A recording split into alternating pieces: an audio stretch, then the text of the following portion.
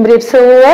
នាងខ្ញុំឈ្មោះឡាច់សារមជាគ្រូបង្រៀនថ្នាក់ទី4ចាសួស្តីកូនកូនទាំងអស់គ្នាតើថ្ងៃនេះកូនកូនសុខសប្បាយទេ ចាគឺអ្នកគ្រូសូមអធិស្ឋានដល់កូនកូនទាំងអស់គ្នាម្ដងទៀតនៅក្នុងការបង្រៀនរបស់អ្នកគ្រូដោយមានការពាក្យម៉ាស់អញ្ចឹងមុននឹងចូលដល់ការបង្រៀនថ្នាក់មេរៀនគណិតវិទ្យាទី14របស់យើងគឺត្រូវចំណុចវិធីដកចំនួនទស្សភាគចាណាគឺយើងនឹងរៀនចំនួនទស្សភាគតតពីថ្ងៃមុន ចាមុននឹងបន្តមេរៀនចាអ្នកគ្រូសូមសួរកូនកូនទាំងអស់គ្នាថាតើកូនបានមើលមេរៀនមេរៀនមុនកាលពីចំណុចទី1ហើយឬនៅចាអញ្ចឹងមុននឹងចូលដល់ការរៀនអញ្ចឹងកុំភ្លេចណាកូនទាំងអស់គ្នា ចាមេរៀនគណិតវិទ្យាថ្នាក់ទី4ត្រង់ទំព័រទី100ចាគឺត្រង់ទំព័រទី101របស់យើងដែលយើងបានរៀនពីថ្ងៃមុនណា ចាកូនប្រកាសទីចេះហើយគឺការដកចំនួនទស្សភាគចាដោយភាគ10ដោយគ្មានគ្មានខ្ចីចឹងណាយើងផ្លែកពីថ្ងៃមុនគឺដកចំនួនទស្សភាគភាគ10ដដែលប៉ុន្តែដោយមានដោយមានខ្ចីចាមុននឹងចូលដល់ការដកចំនួនទស្សភាគដោយមានខ្ចីចឹងកូនកូនទាំងអស់គ្នាយកសិភៅពុំទំព័រទី104ចាភៅពុំគណិតវិទ្យារបស់យើងដាក់បែបខ្លួនកូនឲ្យស្រេចមានទាំងសិភៅសរសេរដៃចាក្តារឈ្នួនខ្មៅដៃជាប់លបន្ទាត់គឺ បើនិយាយរួមទៅគឺសម្ភារៈសិក្សារបស់យើងតែម្ដងខ្ញុំដាក់បែបខ្លួនកូនឲ្យហើយឲ្យហើយស្រេចអញ្ចឹងពេលដែលអ្នកគ្រូបង្រៀនគឺកូនកូនមិនបាច់បាក់ទីងទៅយកនេះទៅយកនោះនាំឲ្យខាត់ពេលក្នុងការចាមើលការបង្រៀនរបស់អ្នកគ្រូអញ្ចឹងដើម្បីដល់ចូលដល់ការបង្រៀនអញ្ចឹងអ្នកគ្រូមានឧទាហរណ៍មួយតកតទៅនឹងមេរៀនរបស់យើងចាគឺវតីមានទឹក4.5លីត្រអញ្ចឹងយើងផ្ដើមសិក្សាឧទាហរណ៍ចាវតី មានទឹក4.5លីត្រចាវតីមានទឹក4.5លីត្រនាងផឹកអស់ចានាងផឹកអស់ចា1.8លីត្រនាងផឹកអស់1.8លីត្រ ចឹងសំណួររបស់គេសួរថាតើនាងនៅសល់ទឹកប៉ុន្មានលីត្រតើនាងនៅសល់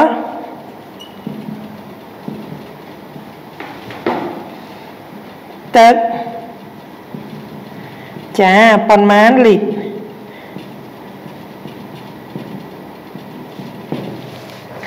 ដើម្បីធ្វើការ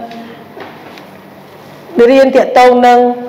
មេរៀនចំណងជើងរបស់យើងការដកចំនួនទស្សភាគភាគ10ដែលមានខ្ចីអញ្ចឹងយើងត្រូវទៅសាឧទាហរណ៍ទាំងអស់គ្នាថាតើចំណុចរបស់យើងគេប្រាប់យើងពីអីហើយគេរកអីលើកលំហាត់ហ្នឹង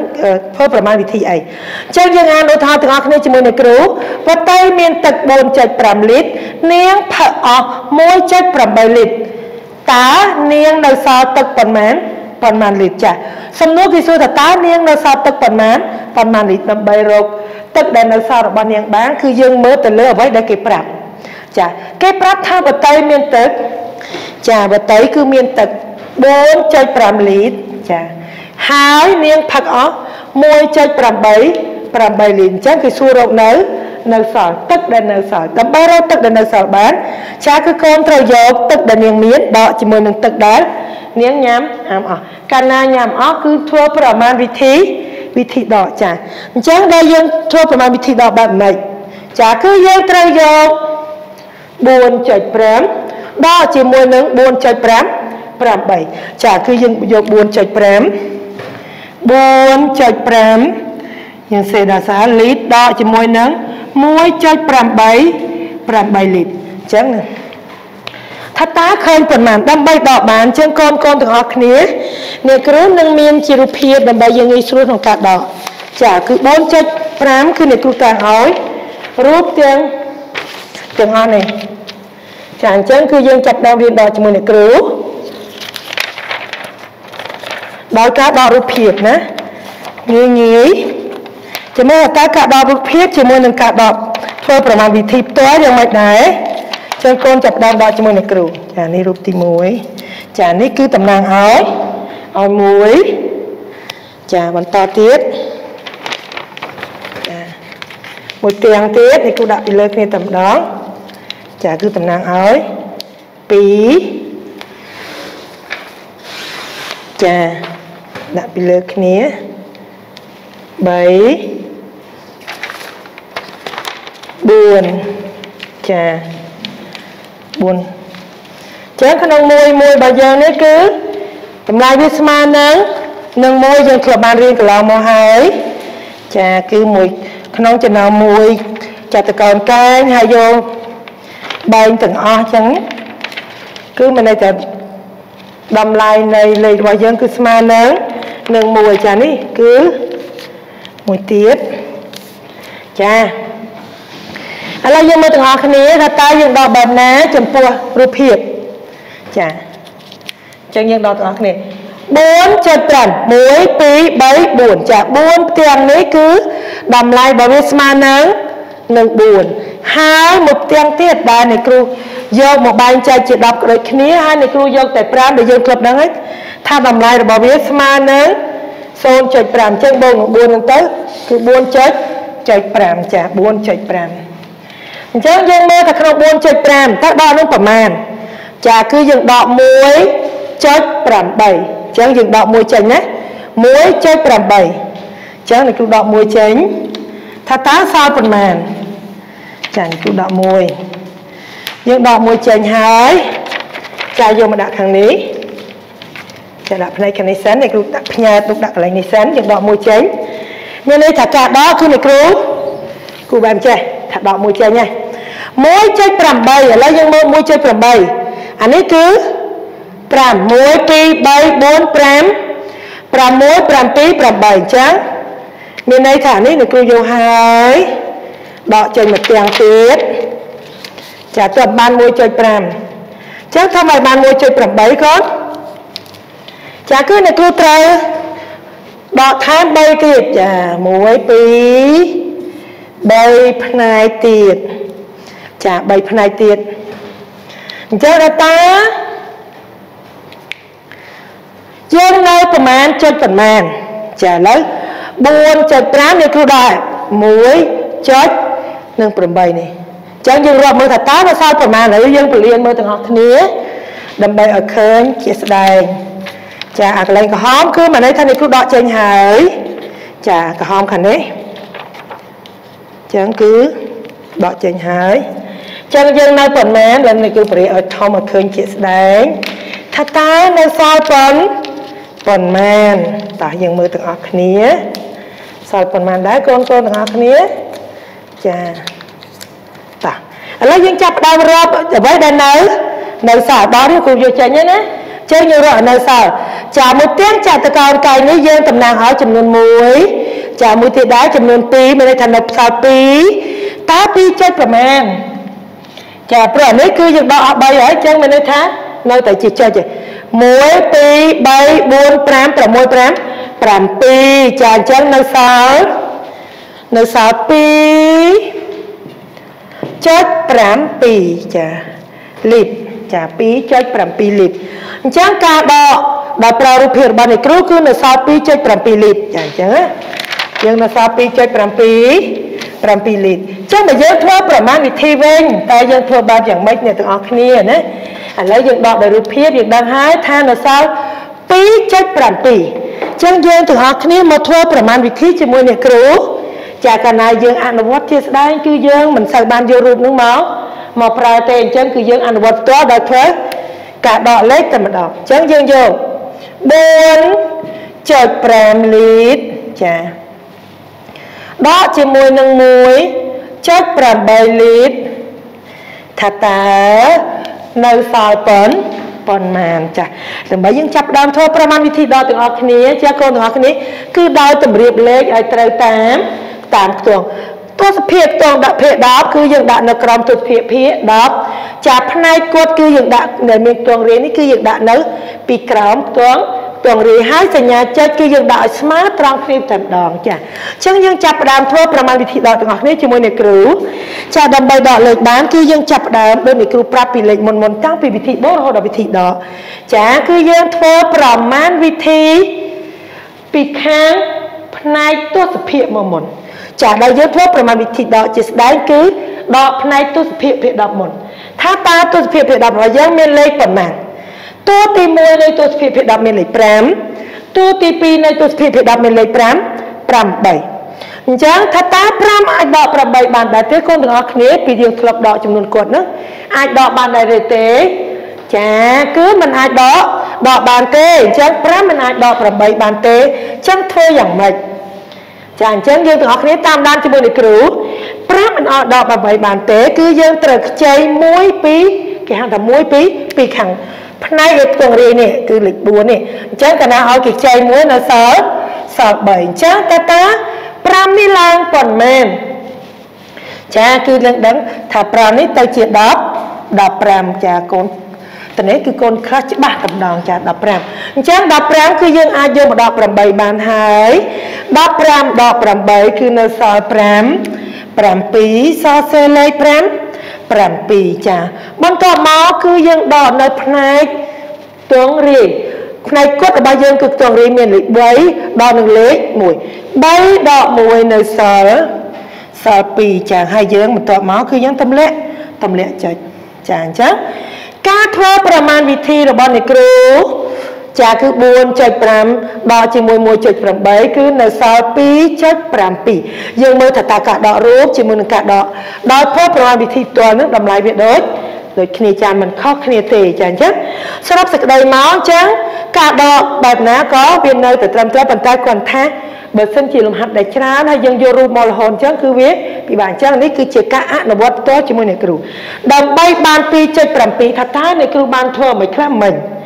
ចាគឺអ្នកគ្រូធ្វើប្រមាណវិធី ចាវិធីដកអញ្ចឹងអ្នកគ្រូចាប់ដើមធ្វើប្រមាណវិធីដកទៅដកពីណាទៅមុនកូនទាំងអស់គ្នាចាគឺដកពីខ្ទង់ទស្សភាគភាគ10មុនអញ្ចឹងយើងចាប់ដើមធ្វើប្រមាណវិធីដកទាំងអស់គ្នាដោយដកលេខនៅចាដកលេខនៅខ្ទង់ខ្ទង់ភាគ10ចាខ្ទង់ភាគ10មុនចាតើតាខ្ទង់ភាគ10របស់យើងមានប៉ុន្មានកូន ចាគឺយើងយក5ដល់នឹង5 8 5ដក8ដកបានអត់កូនចាมันបានទេចា5ដក8គឺมันបានมันបានទេចាធ្វើមិនបានដកបានអ្នកទាំងអស់គ្នាចាយើងដឹងហើយគឺត្រូវខ្ចីមួយពីខ្ទង់ខ្ទង់រាយត្រូវខ្ចីមួយពីខ្ទង់ ចាពីខ្ទង់រាយ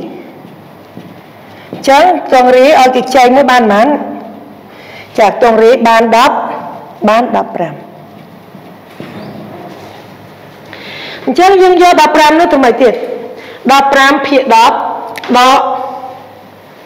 ដកប៉ុន្មានកូន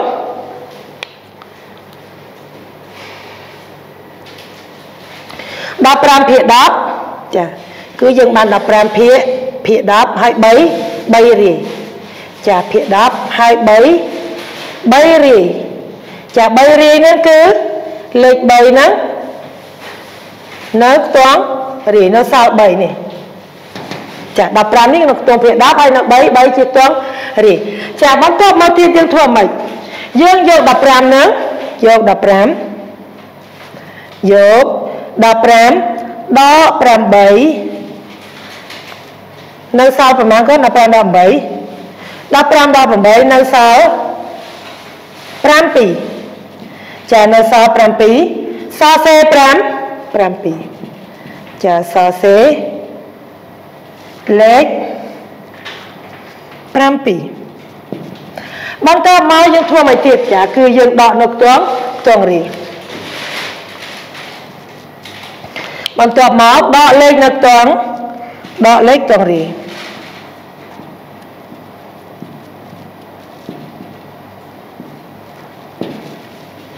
ការដកលេខទងរាយយើងដកធ្វើម៉េច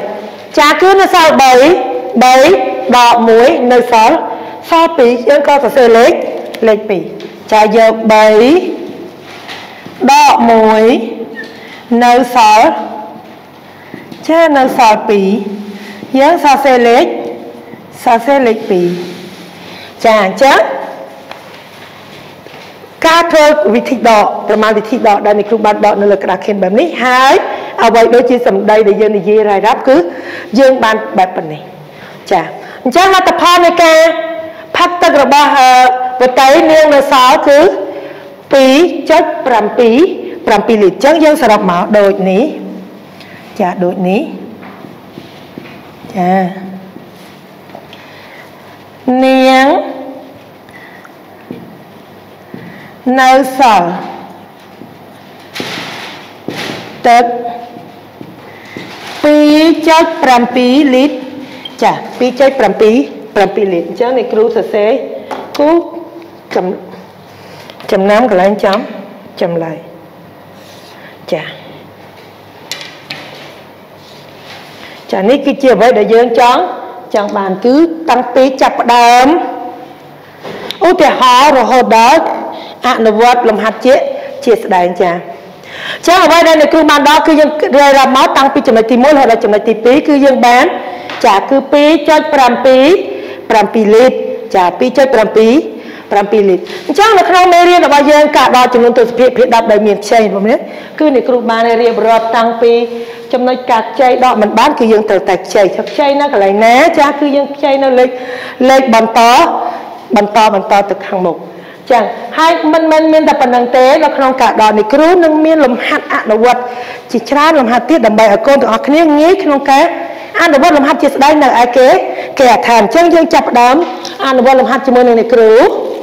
ចាអ្នកគ្រូនឹងសរសេរនៅខាងនេះចាលំហាត់អនុអនុវត្តចាលំហាត់របស់យើងចាអញ្ចឹងយើងចាប់ផ្ដើមអនុវត្តជាមួយអ្នកគ្រូ ដើម្បីឲ្យកូនកូនទាំងអស់គ្នាងាយក្នុងការធ្វើលំហាត់នៅឯឯផ្ទះពេលដែលគ្មានអ្នកគ្រូចាឥឡូវយើងចាប់ដើមដល់ទាំងអស់គ្នាឧទាហរណ៍ថា4.5ដកជាមួយនឹង0.8ចឹងយើងធ្វើប្រមាណវិធីដកបែបណាកូនទាំងអស់គ្នាតោះឥឡូវយើងចាប់ដើមដកជាមួយនឹងគ្រូទាំងអស់គ្នា ចាយើងចាប់ដើមដកនៅផ្នែកណាគាត់ ចាក្បួនរបស់យើងគឺដកនៅផ្នែកទស្សភាគភាគ10មុនចាតើទស្សភាគភាគ10របស់យើងមានលេខប៉ុន្មានកូនចាគឺមានលេខ5ហើយទស្សភាគភាគ10នៅខ្ទង់ទី2គឺមានលេខ5 8 5មិនអាចដកនឹង8បានទេអញ្ចឹងយើងធ្វើម៉េចកូនទាំងអស់គ្នាចាគឺយើងទៅខ្ចីនៅឯខ្ទង់ខ្ទង់រាយចាយើងខ្ចីមួយពីខ្ទង់រាយចឹងខ្ទង់រាយមានលេខ4កាលណាយើងខ្ចីមួយគឺនៅសល់សល់3ហើយ ផ្នែកទស្សភាគភាគ10របស់យើងគឺឡើង10 15ចា15អញ្ចឹងយើងយក15នេះមកដល់5 8ចា15ដល់8គឺនៅសល់7សល់សេលេខ5 7បន្ទាប់មកគឺយើងដកនៅក្នុងខ្ទង់រាយខ្ទង់រាយរបស់យើងមានលេខ3ខ្ទង់រាយទី2គឺមានលេខ0 3ដក0នៅសល់ចានៅសល់3អញ្ចឹងយើងសរសេរលេខ3ក្រោយមកគឺយើងទម្លាក់ទម្លាក់ចុច ចានេះគឺជាការអនុវត្តលំហាត់ទីទី1ចានេះគ្រូនឹងអនុវត្តមួយលំហាត់ទៀតចាឥឡូវយើងចាប់ដើមមើលទាំងអស់គ្នា ចាលំហាត់ទី2 8.2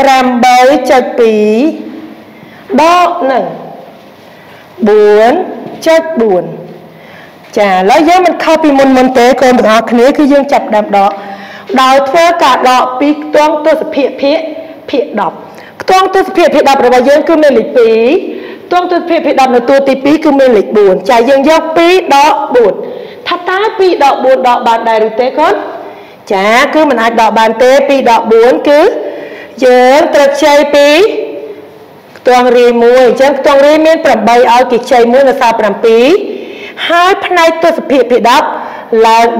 12ចាទស្សភាគភាគ10របស់យើងគឺ12មានន័យថា12 ទស្សភាគភាគ10ហើយ7ខ្ទង់ខ្ទង់រីអញ្ចឹង17ទង់រី12ទស្សភាគភាគ10អញ្ចឹងយើងយកមកដកជាមួយនឹង4.4